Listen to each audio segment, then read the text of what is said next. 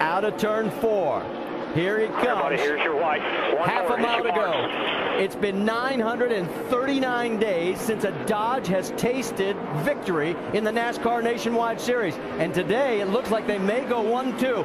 Hold on. Final corner. Through the turn. Justin Allgaier's going to do it. He gets his first Nationwide Series win. Here comes Kurt Busch, the white flag. One to go. Menard brushed the walls One more. coming off turn four. Well, it doesn't matter what happens now. We've had our one attempt. Now we've got Kevin Harvick and Scott Wimmer side by side. No longer Harvick will take the position. That was a battle for eighth right there. Biffle gaining. He's really got to send it into turn three. He's a car length and a half back. Not going to get there. Nope. Boy, Casey Mears is the one that drove it in there, and uh, to no avail, though. Kurt Busch wins the O'Reilly 300. Just a one more solid lap here. Here we go. White flag is out. Just one mile remaining here on this new configuration for Sam Hornish Jr. to pick up his first win in the NASCAR Nationwide Series. Roger Penske on the left, looking on. Through the dogleg for the final time and into three.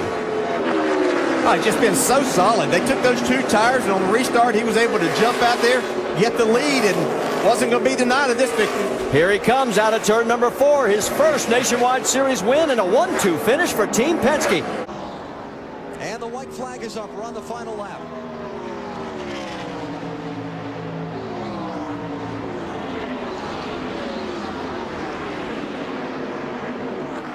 Ryan Newman, 23-year-old out of South Bend, Indiana, in his ninth start in the NASCAR Busch Series.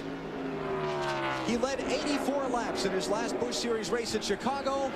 He finished 26 after the late race crash we showed you. Here today in Michigan, he's going to get it done. Newman dominates and wins the Napa 250. Good job, everybody. It's awesome. Good job. Another first-time winner in the Nationwide Series at Kentucky. It's Ryan Blaney. One more lap to finish I'm it sorry, off, buddy. I'm, sorry, white flag, white flag. But you know what? He's got a big enough lead that he's going to be fine. And I have been so impressed with the job he's done. And there were plenty of opportunities to fold on all these restarts. He was tested by Sam Hornish. He was tested by Austin Dillon. And in the end, he answers the bell. And he's going to get his first cup, uh, career Nationwide Series win. He absolutely is. Here he comes. First time winner. Fifth time here at Kentucky that we've seen it happen.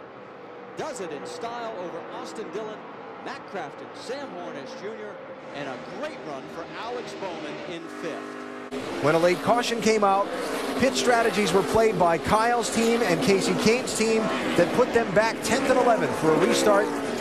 A restart that came with 34 laps to go. They have not gotten the caution they needed to change the outcome. And now Joey Logano is a half a lap from scoring a third straight win at Dover. Pretty impressive. Yeah, I mean, this is a tough, tough racetrack. If you come here and win three times, you've earned your money. Never been done before in the Nationwide Series. Done now by Joey Logano. He makes it three straight at the Monster Mile, winning by five-tenths of a second over Brian Vickers. He moves to the inside. The white flag is out, side by side. Cindric out in front again. Austin Cindric looking for his first ever win in the Xfinity Series. One lap to go, presented by Credit One Bank. They dive deep into turn number one. Cindric slides into tad wide. Dinger goes wider. Here they come now into turn two. Into the S's for the final time in Watkins Glen. Cindric trying to hang on to the race car. But A.J. Allmendinger is there. He is on the back bumper. This is the battle for the win.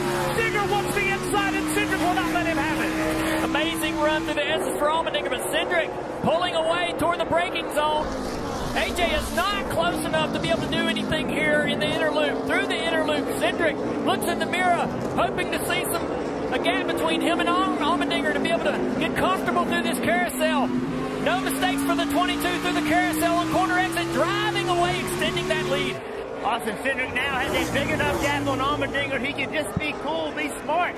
You do not have to overdrive turn six to stay far enough away from him.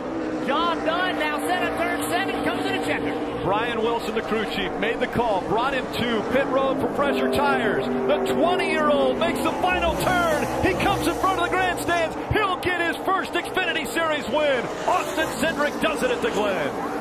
White flag. White flag. Here we go.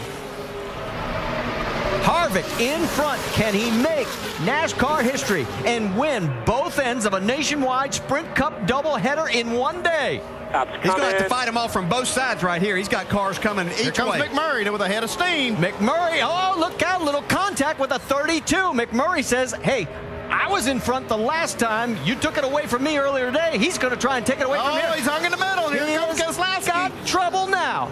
Keselowski's got like Oh, on the high side. Look out, they're going to go around. McMurray. Oh, big crash. Oh, and up into the wall. Look out. The caution is out. The race will finish. And it looks like Brad Keselowski is going to get the race win. Bring it here. Bring it here.